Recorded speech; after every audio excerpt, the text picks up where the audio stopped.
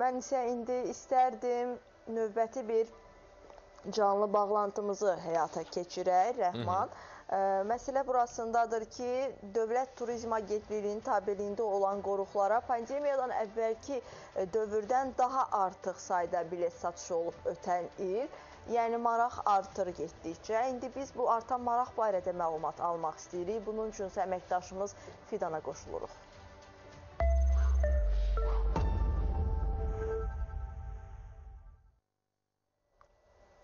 Fidan, səni eşidirik. Dövlət Turizm Agentliyinin tabeliyində olan qoruqlara pandemiyadan əvvəlki dövrdən daha artıq sayda bilet satışı olub. Söhbət 2022-ci ildən gedir və bunu nə ilə əsaslandırmaq olar? Əslində öz özlüyündə yaxşı xəbərdir. Amma nə, nə ilə izah eləyə bilərik və 2023-cü il üçün ə, e, proqnozlar nədən ibarətdir?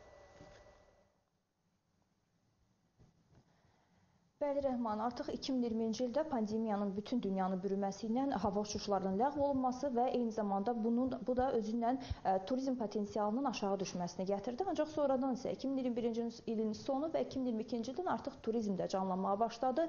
Qapanmalar ləğv olunduqca təbii ki, eyni zamanda Azərbaycan turizmində də bir ə, e, inkişaf, bir irəliləyiş var. Belə ki, sizin də qeyd elədiyiniz kimi 2022-ci ilin statistikasına görə ə, e, Azərbaycanda qoruqlara edilən ziyarət ə, pandemiyadan əvvəlki illəri də üstələyib. Yəni artıq statistika pandemiyadan əvvəlki dövrü dövrdən də daha yaxşı istiqamətdə irəliləyir. Ancaq maraqlı maraqlıdır ki, sizin də suallarınız var idi.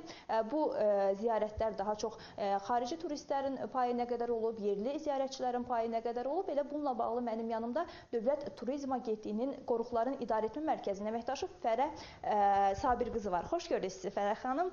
Bizə və tamaşaçılarımıza bu istiqamətdə istəyirəm məlumat verəsiniz ki, ümumiyyətlə bu artım statistikası sahəsi hansı istiqamətlərdə olub, daha çox hansı qoruqlar ümumiyyətlə turistlər tərəfindən ziyarət edilir?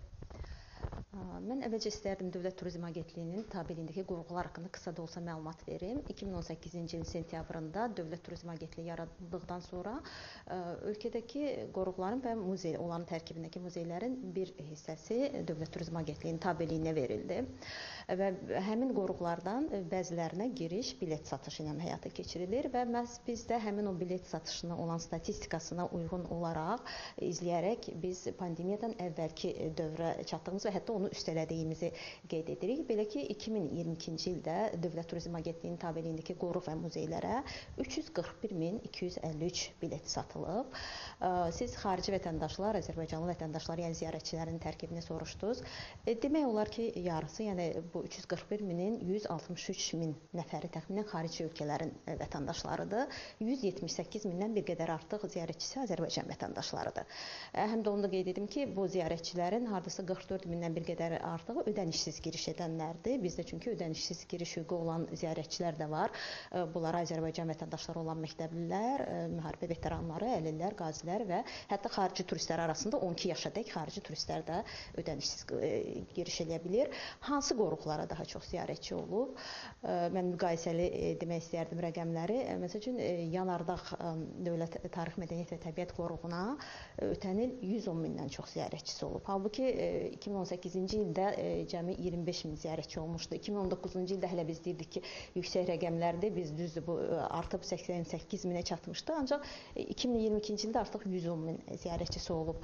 Atəşgah məbədi də təxminən eyni rəqəmlərdir. Yəni 100 mindən artıq ziyarətçisi olub ötən il ərzində.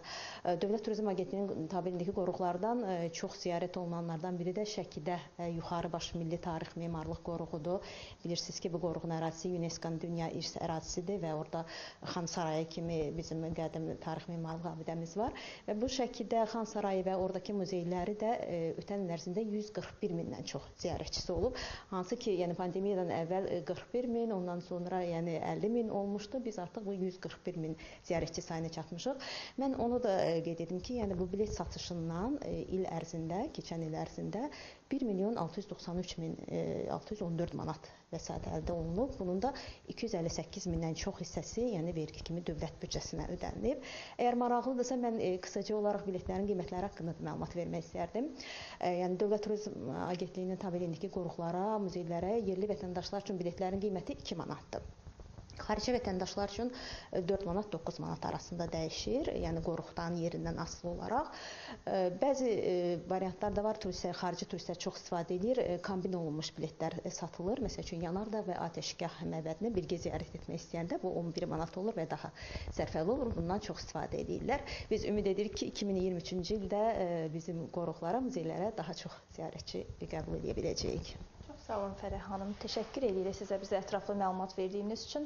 Bəli Rəhman və Vəfa, bizim çatdıracaqlarımız bu qədər. Sözü ötürürəm xəbər mərkəzimizə. Təşəkkürlər Fidan. Minnətdarıq əməkdaşımız Fidan məhz dövlət qoruqlarına artan maraq barədə ətraflı olaraq statistik məlumatları diqqətimizə çatdırdı. Bu sizə bu saatda təqdim edəcəyimiz son məlumat idi. Bu məlumatla növbəti saatımızda sizinlə sağollaşırıq, amma saatın tamamında növbəti sonuncu hissəmizlə qarşınızda olacağıq.